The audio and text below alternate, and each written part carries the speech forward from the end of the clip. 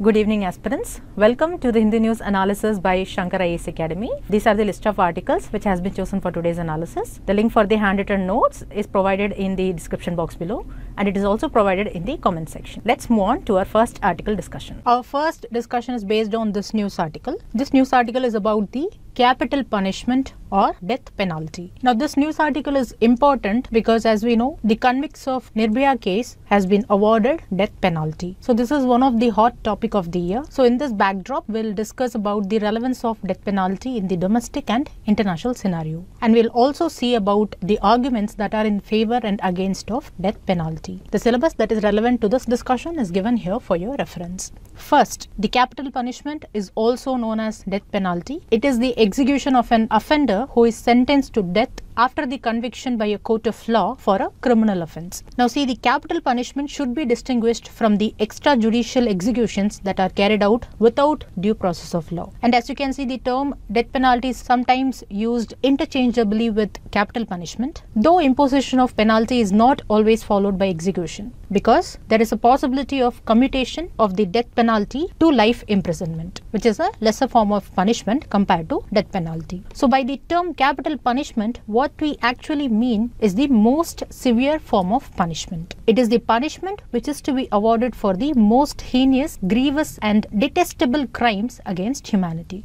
But the definition and extent of such heinous, grievous crimes vary from country to country, state to state, from age to age. So that is why the implication of capital punishment has always been the death sentence. And if you see the death penalty existed in India before independence also. As you can see that the Indian Penal Code which came into existence in the 1860s has death penalty as a punishment for several heinous and grievous crimes. And even the Code of Criminal Procedure and even several other ordinary laws has mentioned about death penalty. And after India's independence, India retained several laws that were introduced by the British colonial government, including the Indian Penal Code. But after independence, two changes happened with respect to the Code of Criminal Procedure or CRPC. In 1955, the Parliament repealed the section 365 clause 5 of CRPC because until then, this section mandated the courts to record reasons for when the courts decided not to impose death sentence for offences where the death penalty was an option. But this section was repealed in 1955. And again, the CRPC was reenacted in 1973 and several changes were made to CRPC. And one such change was the important section which is section 354 clause 3. This section mandates the judges to provide special reasons for why they impose the death sentence. So we can see that the government of our country is in favor of capital punishment. So what about judiciary? Like any other matter, the matter of death penalty also reached the judicial scrutiny. In 1973, the constitutionality of the death penalty was challenged in the Jagmohan Singh versus State of Uttar Pradesh case law.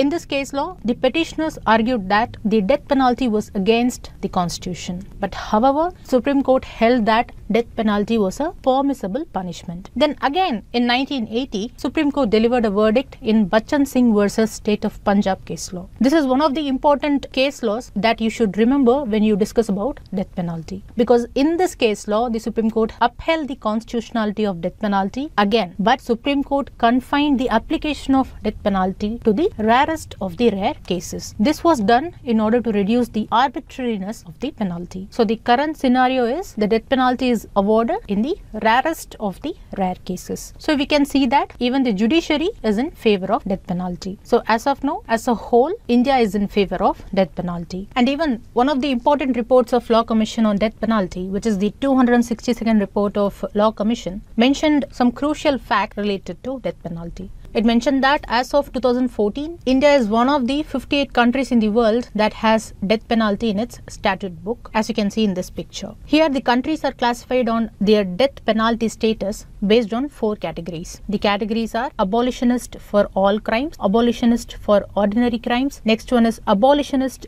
de facto, that is the countries and territories which retain the death penalty for ordinary crimes but they have not executed. And the final category is the retentionist, that is the country has retained death penalty and also using it from time to time. As a punishment. And in these four categories, India comes under the retentionist category. Along with India, there are some other countries also like China, Indonesia and United States. They are also under the retentionist category. So India still has death penalty in its statute book and India has even used it in the recent past in the year 2015 when Yaqub Memon was executed in July 2015. Now to know about the stages that are involved in death sentence cases in India, you can see this picture. And this table shows the list of capital offences that are listed under Indian Penal Code. Here you can see that not only treason, murder and heinous offences like rape attracts capital punishment, but even the abetment of suicide also attracts capital punishment. And in the beginning, we saw that even some ordinary laws in India has punishment of death penalty. In this table, you can see such laws. And even one of the laws which was recently enacted in the year 2009 has incorporated the punishment of death penalty. Now let us see some of the statistics on death penalty with respect to India. See there is no clear data on how many persons have been executed since independence. But the data gathered by the National Crime Records Bureau on death sentences indicates that in the period between 2000 and 2012, around 1677 death sentences were imposed by Indian courts. So this means that on an average 129 persons are sent to death row every year and roughly one person is sent to death row every third day. Now this may seem like a large number but if you compare this with the cases involving murder convictions then this is a very small number only because the death sentence was imposed only in 1178 cases which is only 0.65 percentage of the cases that involves murder convictions. So this was one of the point noted by the Law Commission's report Along with this, the news article mentions about one of the report prepared by National Law University. They prepared the data on the number of prisoners executed since independence till the year 1968. They prepared this under the Project 39A. This Project 39A published Death Penalty India report in 2016 and in its report Project 39A has highlighted the difficulty in obtaining the exact number of prisoners who are under the death sentence in our country. The report noted that the prisons and other government departments do not have accurate records of the people whom they have executed. And also, this project's purpose to get accurate data on death penalty in, in India is hindered by an absolute lack of coordination between different official sources. So, as of now, there are no reliable sources to quantify the data with respect to death penalty. So, these are some of the details that you should know with respect to capital punishment or death penalty in our country. Now, the argument which arises with respect to capital punishment is that whether it is needed or not. So, now let us see some of the arguments in favor of death penalty and also against the death penalty. First, let us see the arguments in favor of death penalty. The first argument is that death penalty provides deterrence. Deterrence is the act of discouraging an action or event through instilling doubt or fear of the consequences. So here the argument is that death penalty will prevent future murders because if murders are sentenced to death and they are executed, then potential murderers will think twice before killing another person due to the fear of losing their own life. So the first argument in favor of death penalty is that it acts as a deterrent or a general deterrence. Now, the second argument in favor of death penalty is retribution, which is the punishment inflicted on someone as vengeance for a wrong act or a criminal act. When someone takes a life, the balance of justice is disturbed. So, those who are in favor of death penalty argue that only by taking of the murderer's life restores the balance and it allows the society to show that murder is an intolerable crime. Then after this, next argument is that death penalty should be present in the statute books in order to contain terrorism. So these are some of the arguments in favor of death penalty. Now what are the arguments that say death penalty is not needed? See the right to life is the foundation of all human rights. So the taking of life affects this foundation and even it is irreversible. So it goes against the fundamental belief in the dignity and worth of every human being. So death penalty is against right to life. And as we saw death penalty is irrevocable So, an innocent person can also be wrongly executed and it cannot be reversed. This is a valid argument because even Supreme Court once agreed that it has wrongly executed innocent persons. The next argument is that there is no uniform and fair principle on execution of convicts on death row. They say it is arbitrary. Even Supreme Court itself has said that death penalty is arbitrary. It has noted that there is difficulty in distinguishing cases where death penalty has been imposed from those cases where the alternative of death penalty which is life imprisonment has been applied. A next argument is that death penalty does not act as deterrence because a deterrence will be possible only when it is swift, certain and proportionate to the offence committed. But as you can even see in the Nirbhaya case law, the execution of death penalty of the convicts has been being postponed. So those who are against death penalty, they argue that this does not act as deterrence. So far, it has not served as a deterrent to control crime. So these are some of the common arguments that are in favor of and also against the death penalty. Now, when you discuss about death penalty, we should also see about Law Commission's view on death penalty. In the year 1967, the 35th report of Law Commission had argued that capital punishment shall be retained in India. Now, Law Commission argued for retention of death penalty because it wanted to see death penalty as a refined form of retribution to publicly condemn the act of crime. It noted that there is a category of individuals who are cruel and wicked and they are not capable of reformation. So, we can say that Law Commission at that time was in favor of capital punishment mainly because of the unique condition of India and the society that prevailed at that time. But after 48 years, in the year 2015, when the 262nd report of Law Commission was submitted, Law Commission had changed its mind. This report was on death penalty, which we also saw before. In this report, Law Commission noted that death penalty does not serve the purpose of deterrence. Hence, it recommended for the abolition of death penalty for all crimes other than terrorism related offences and also waging war against the state. So we can see that as the society evolves, the views change. Because in this 2015 Law Commission report, it was mentioned that as of 31st December 2014, 140 countries in the world had abolished the death penalty in law or in practice. So let us wait and see if India will abolish death penalty in future or not. So that is all about death penalty that you need to know from examination point of view. In this discussion, we saw what do we mean by death penalty or capital punishment. We saw the statistics related to death penalty and we also saw the arguments that are in favor or against of death penalty. With this, we come to the end of this discussion. The repeat practice question will be discussed in the last session.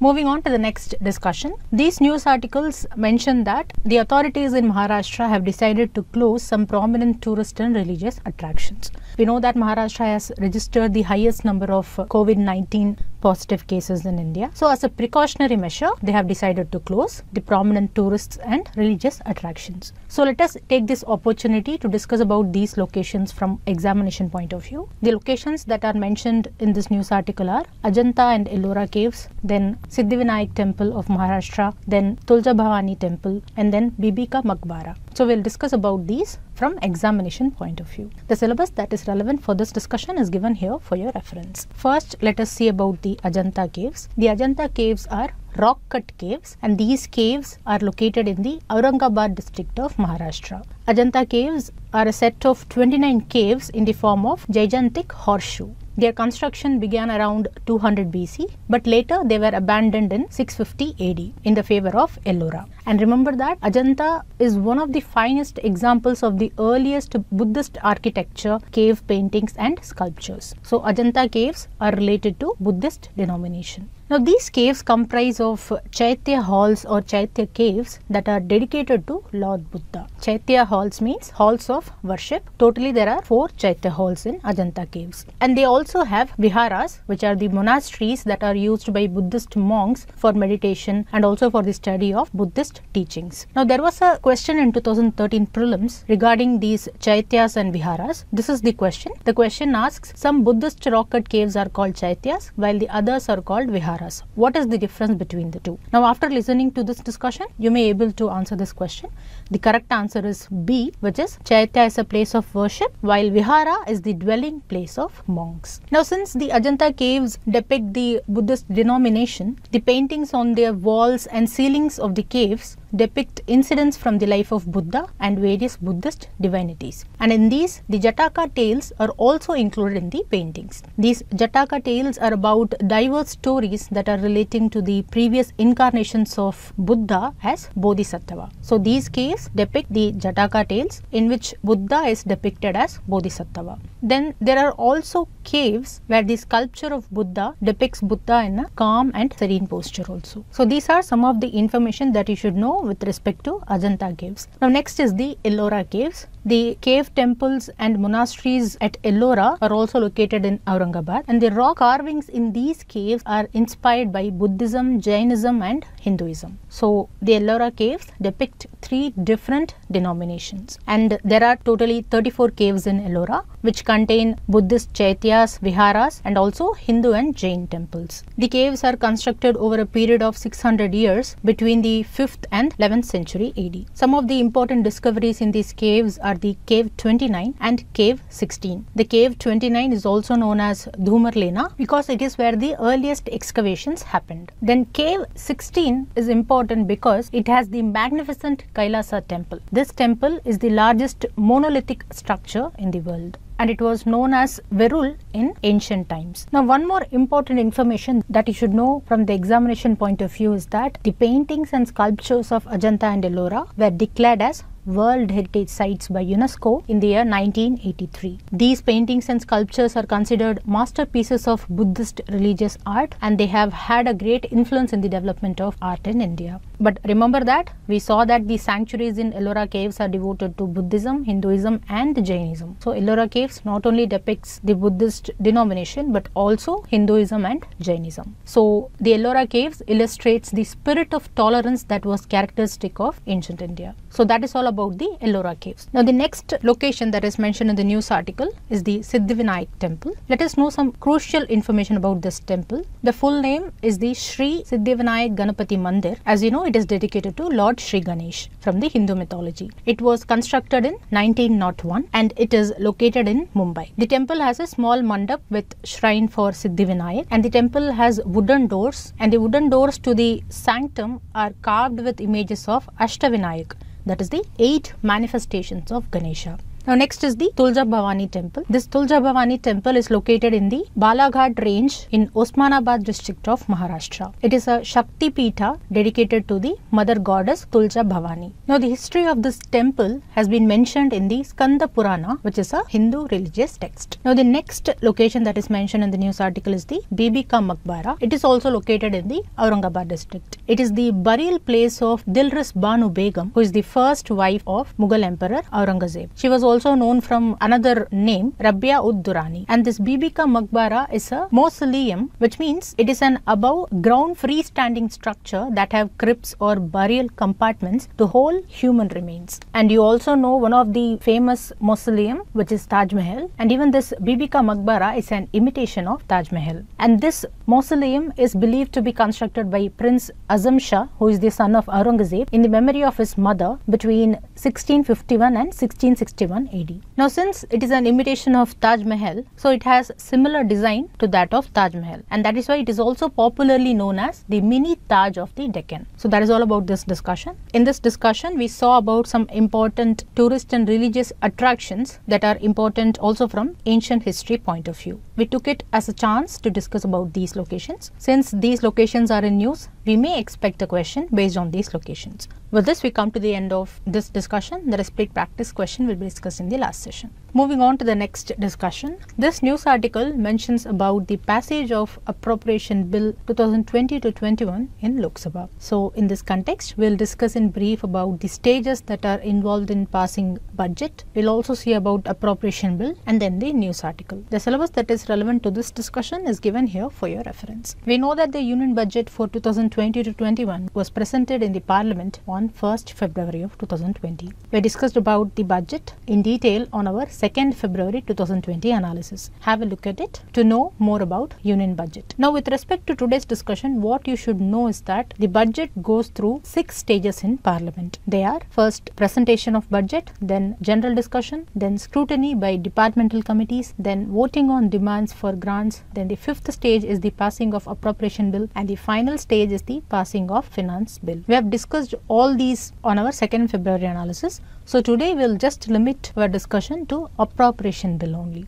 So the article 114 of Indian constitution deals with appropriation bill. In this the article 114 clause 3 mentions that no money shall be withdrawn from the consolidated fund of India except under appropriation made by law. So accordingly an appropriation bill is introduced to provide for the appropriation of money out of the consolidated fund of India. Now here you should note that as per article 114 clause 1 an appropriation bill shall be introduced in Lok Sabha. It means it cannot be introduced in the Rajya Sabha. So on a whole, we can say that this bill is nothing but a document showing the expected expenditure of the government for the financial year. This money is required to meet the grants that are voted by the Lok Sabha and also for the expenditure charged on the Consolidated Fund of India. Now, know that the procedure for passing an appropriation bill is just like the money bill. It requires a simple majority that is more than 50 percentage of the members present and voting. After that, it will be taken to the Rajya Sabha. And before this, the Speaker endorses that the bill is a money bill. Because as we know, under the Constitution, the Speaker of Lok Sabha enjoys a special position insofar as certain matters pertaining to the relations between the two houses of parliament. And one such special position is that the Speaker of Lok Sabha certifies the money bill. So from this you can say that Rajya Sabha has very limited powers when it comes to money bills because it cannot reject or amend the bill, but it can only make recommendations. And Rajya Sabha must return the money bill to Lok Sabha within 14 days, either with recommendations or without recommendations. Now, with respect to recommendations, Lok Sabha can either accept it or even reject it.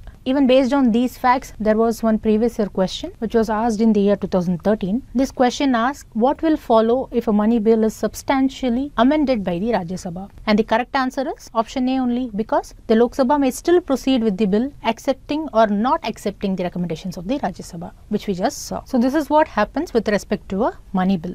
But now with respect to appropriations bill, you should know that according to article 114 clause 2, no amendment shall be proposed to any appropriation bills in either houses of the parliament. That is, neither in Lok Sabha nor in Rajya Sabha. Once the appropriation bill is passed by the parliament, it then goes to the president. And after the president gives his assent, the bill becomes an act. This act gives authority to the government to withdraw the money from the Consolidated Fund of India for various purposes. But the bill becoming an act takes time. It takes at least till the end of April. But the government needs money to carry on its normal activities after 31st March, which is the end of the financial year. So to overcome this difficulty, the Article 116 of the Constitution provides for vote on account. This authorizes Lok Sabha to make any grant in advance in respect to the estimated expenditure. This happens when voting of the demands for grants and appropriation bill is pending. Now such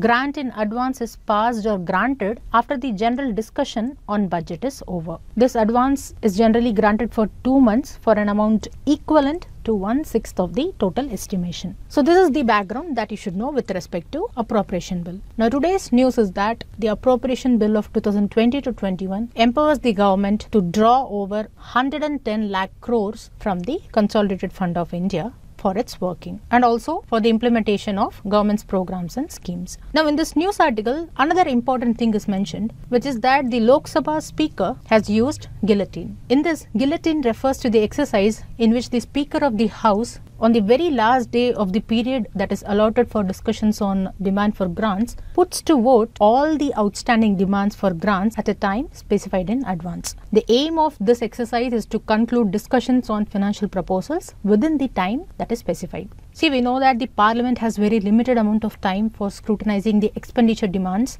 of all the ministries. So, after the pre-decided period of discussions over the spending is completed, a guillotine is applied. Once the speaker applies the guillotine, all the outstanding demands for grants, whether it is discussed or not, they are put to vote at once. And after this, the appropriation bill is taken into consideration. Now, the invoking of guillotine is important because it ensures the timely passage of the finance bill and also the timely conclusion of debates and discussions on the budget of that financial year. So as we saw in the beginning, after the passage of appropriation bill, the only pending stage is passing of finance bill. And finance bill pertains to the government's taxation proposal. So after it is passed, we'll discuss about it. So that is all about this discussion. In this discussion, we saw about appropriation bill and the constitutional provisions related to the appropriation bill. And we also saw about guillotine that is applied by Speaker of Lok Sabha. With this, we come to the end of this discussion. The respect practice question will be discussed in the last session.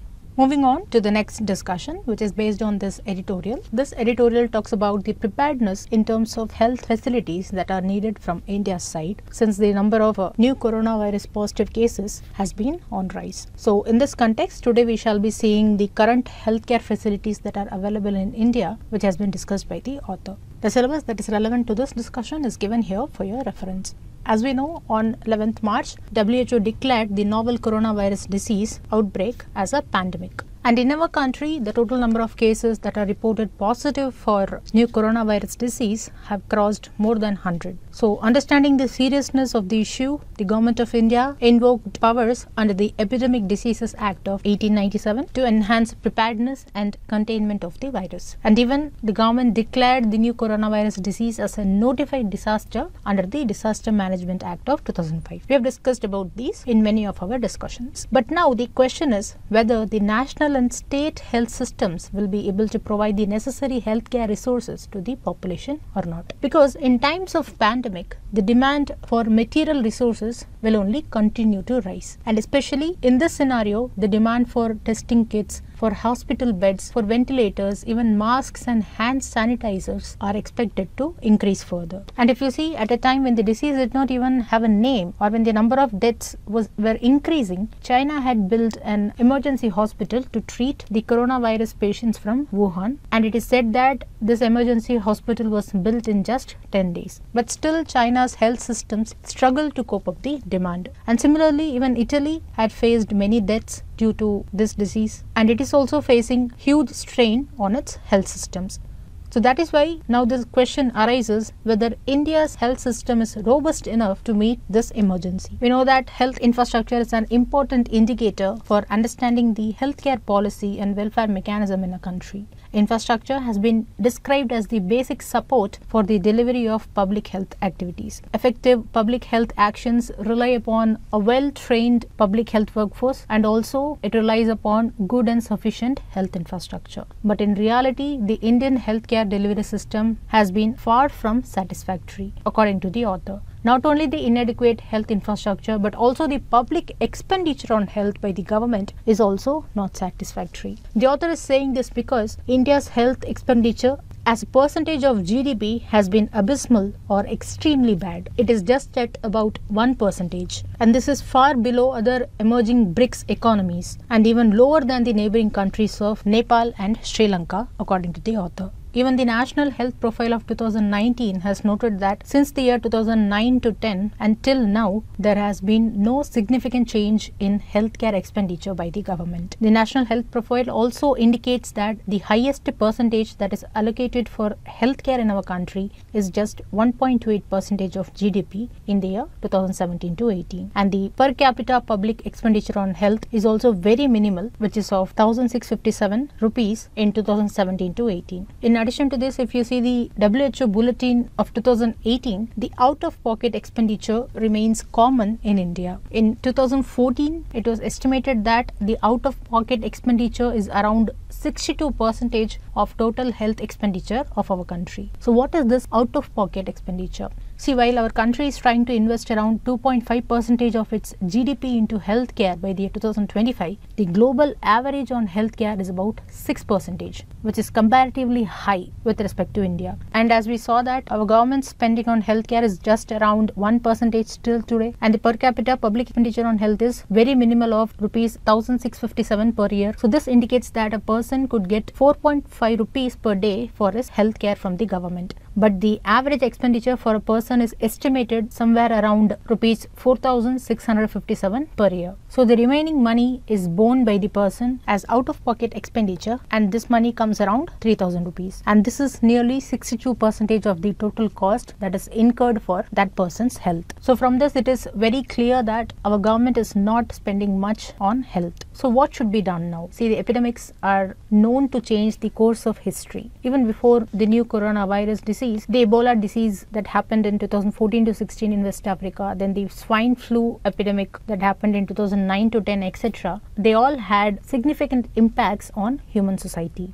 These epidemics are well known for killing of large percentage of global population and it had altered the course of human history. So the ongoing coronavirus is also a potential pandemic which is in the course of altering the society with nearly 5000 deaths and it has spread to around 122 countries worldwide. And with respect to India, it has affected nearly 100 people and it has spread across 13 states or union territories. So the author here suggests that India must treat this pandemic as an opportunity to increase the budgetary allocation for health and it should also see this as an opportunity for the expansion of health infrastructure in our country. Author is suggesting this because there is evidence that increase in public expenditure on health has resulted in betterment of communities in terms of their health as well as their financial position. So India must use this opportunity to harness the finite resources optimally for the benefit of all. So that is all about this discussion. With this we come to the end of this editorial discussion. Now let us take one question.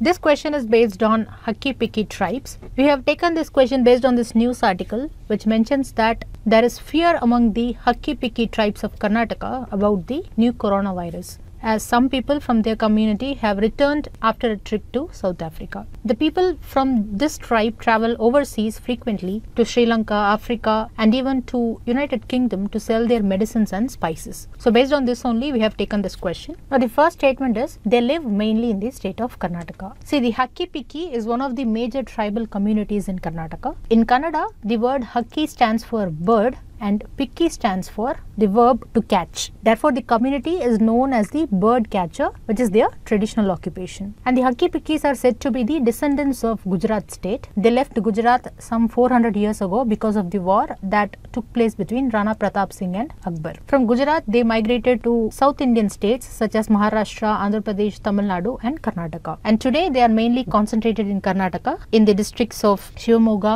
Davangere and Mysore. So that means this statement is correct. Now here the question asks for the correct statement. So you can eliminate option C. Now the second statement is they sell medicines and spices from forest. Now we saw that their main occupation is trapping and selling of live birds. The Hakki-Pikkis are semi-nomadic tribes who lived in jungles for several centuries depending on this bird catching as their main occupation. So they try to live close to the forest land so that it is convenient for their occupation. Now, since they stayed in jungles and near jungles over several decades, they have also become experts in indigenous medical system. So, in the recent years, they make a living out of selling medicines, spices, and even offering pain relief services like body massage and so on. So, that means the statement is also correct. Now also know that the Hakki-Pikkis are also settled in the camps and hamlets which are provided to them by the government. And they speak the Indo-Aryan language even though they live in the southern part of India where the Dravidian languages are spoken. And even the scholars name their mother tongue as Vagri. So they speak Vagri at home and they speak Kannada for their